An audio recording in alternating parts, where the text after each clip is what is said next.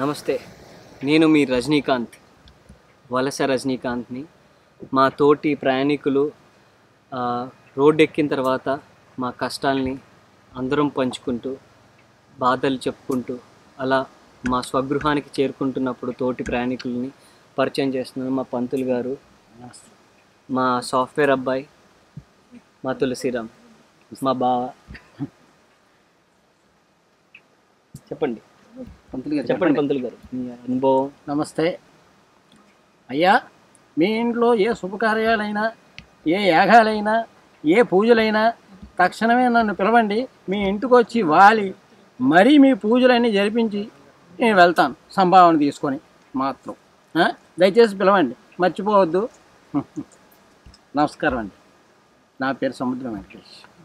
ఈ వలస అనే సినిమా ఈ మొన్న ఈ కోవిడ్ వచ్చి అందరూ కార్మికులు రోడ్లపై పడి వాళ్ళకి ఏ ట్రాన్స్పోర్ట్ లేక వాళ్ళ ఇంటికి వెళ్ళాలని రోడ్డు మీద నడిచి ఎన్నో దినాలు నడిచి నడిచి నడిచి వెళ్ళే కార్యక్రమమే ఈ వలస సినిమా.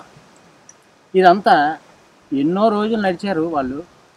అయితే మేము చేసింది మటుకు ఈ ప్రయత్నం ఈ ప్రయత్నం ఒక్కరోజు మాత్రమే. ఆ ఒక్క రోజులో పొద్దున్న ఆరు నుంచి సాయంత్రం ఆరు వరకు జరిగే సన్నివేశాలతో ఈ సినిమా తీయడం జరిగింది. ఇందులో దాదాపు ఇరవై మంది పార్టిసిపేట్ చేశారు. అందరూ ఆర్టిస్టులు చాలా చక్కగా చేశారు. ఇది పి సునీల్ కుమార్ రెడ్డి గారని చాలా ఫేమస్ డైరెక్టర్. ఆయన ఎప్పుడు చేసినా ఈ ప్రజెంట్ బర్నింగ్ సబ్జెక్ట్ తీసుకొని సినిమాలు చేస్తుంటారు.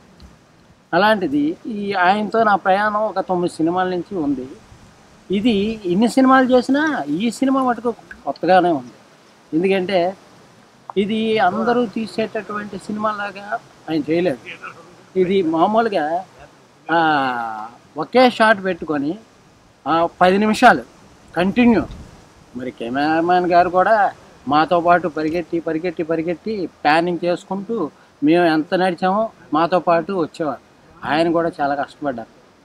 అయితే దీంట్లోని మా ఆర్టిస్టులు అందరూ చాలా ఎక్స్పీరియన్స్డ్గా చాలా దీనిగా చేశారు. అయితే మాకు ఇది కొత్త ఎక్స్పీరియన్స్. ఏదైనా సినిమా చేస్తే ఒక కట్ షాట్ ఉంటుంది లేకపోతే ఒక క్లోజ్ ఉంటుంది ఒక వైడ్ షాట్ ఉంటుంది లేకపోతే ఇతర ఇతరగా ఉంటాయి. కానీ ఇది మాత్రం భిన్నంగా ఉంటుంది. దీనికి ఈ చేసిన ఆర్టిస్టులకు అందరికీ ఒక గ్రేట్ ఎక్స్పీరియన్స్. అయితే ఇందులో నేను పంతుల వేషం చేశాను. నేను ఒక యాగానికి వెళ్ళి అక్కడ ఆ రోజు నుంచి ట్రాన్స్పోర్ట్ అంతా బంద్ అయిపోతే కోవిడ్ కారణంగా నేను అక్కడ ఉండిపోవడం జరుగుతుంది. ఆ తర్వాత ఇంకా అక్కడ ఉండలేక నేను బయటకు వచ్చేసే మధ్యలో ఈ కార్మికులందరితో కలవడం జరుగుతుంది. అలా మా ప్రయాణం చివరి వరకు ఎవరి ఇంటి వరకు అలా జరుగుతుంది. అందుకని మీరు ఈ సినిమా తప్పనిసరిగా చూడండి. మమ్మల్ని అందరినీ ఆశీర్వదించండి.